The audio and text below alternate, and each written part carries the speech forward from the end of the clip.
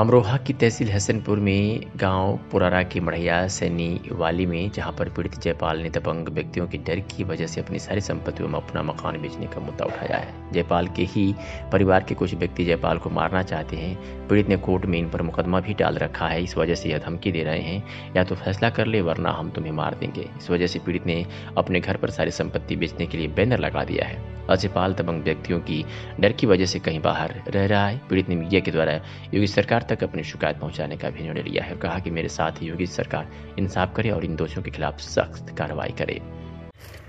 आपका नाम? जयपाल सिंह। जी बताइए जो आपने अपने घर पर इस तरह का बैनर लगाया है क्या उद्देश्य है इसका?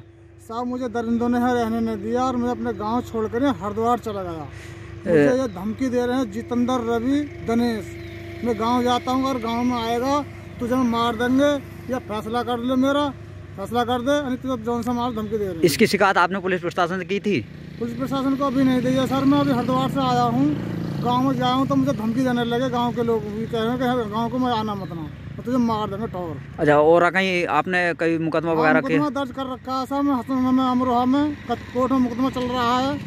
अच्छा बार बार धमकी देते हैं मेरे को लोग क्या कहते हैं? ये कहा फैसला कर ले नहीं तो जान से मार देंगे हम। गाँव को जाने दे डेढ़ साल था मुझे हरिद्वार में साहब मैं कंपनी में जॉब कर रहा हूँ। वहाँ से आता हूँ गाँव को जब धमकी देने लगते हैं लोग। अच्छा आप क्या चाहते हैं इसमें अब? हाँ जी अब मैं साहब इंसाफ चाहता हूँ मुझे इंसाफ मिले। इसलिए मैं अपना मकान जगह ज़मीन सबको बेच कर यहाँ जा रहा हूँ इनका डर के हमारे साथ मेरे को सुनवाई करने के लिए कोई तैयार नहीं है।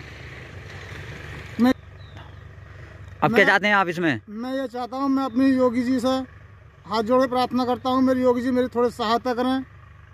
मुझे इंसाफ दिलाने की कृपा करें। इस वीडियो को लाइक करें, हमारे चैनल को सब्सक्राइब करें। बेल आइकन ज़रूर प्रेस करें, हमारी न्यू वीडियो सबसे पहले देखने के लिए।